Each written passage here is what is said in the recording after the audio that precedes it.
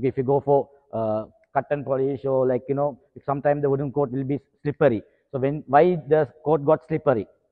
But how can the player can protect that uh, uh, incident? Okay, so now it will we have some players are there when they comes to the court. What they do was they are wearing a shoes which they playing inside the court.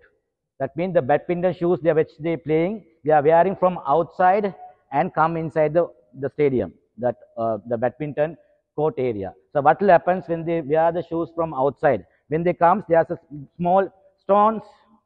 Obviously, they have a lot of stones in outside, right? When you walk, so there's a small stones that that will be thick on badminton shoes here, right? This is the badminton. This is a badminton shoes, right? So it will be thick some around here.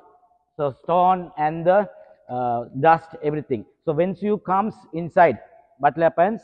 It will start to what do you call uh, stretch yeah stretch the badminton court. And it will become the dust becomes stuck inside the court. Then it will the court become slippery. The will affect after got the court will slippery.